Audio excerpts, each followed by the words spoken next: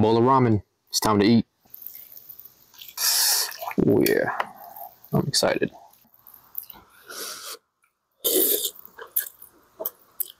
Look at that soft boiled eggs. All that chili oil on top. That's nothing but flavor right there.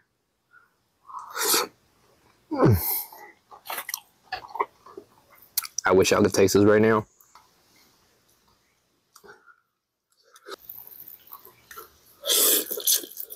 Hear me out here. I know it's hot outside, but there is nothing like a good bowl of ramen. Delicious.